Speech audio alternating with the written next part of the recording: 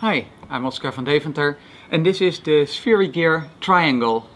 It's an invention by uh, Bram Cohen and what you see here is three sphere gears, that is spherical gears, in a triangle. So I have already explained the name of the puzzle to you and I'll show you also how it works. Uh, each of the three sphere gears is connected by a little gear that you see here, here and here and uh, all the pieces have been cut in two uh, with a green bottom half and a red top half.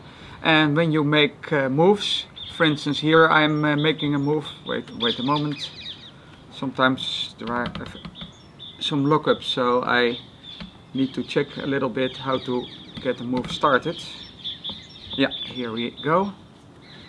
So this is a move where the sphere gears have turned a bit like uh, this. I think I still need to complete my move. Yes, the move is complete.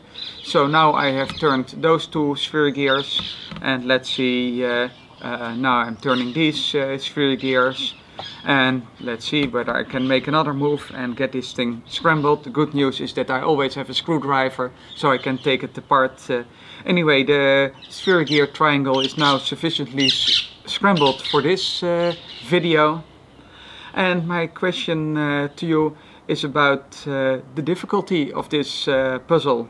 Um, how difficult do you think that it is to uh, scramble and solve this puzzle? Thank you for watching.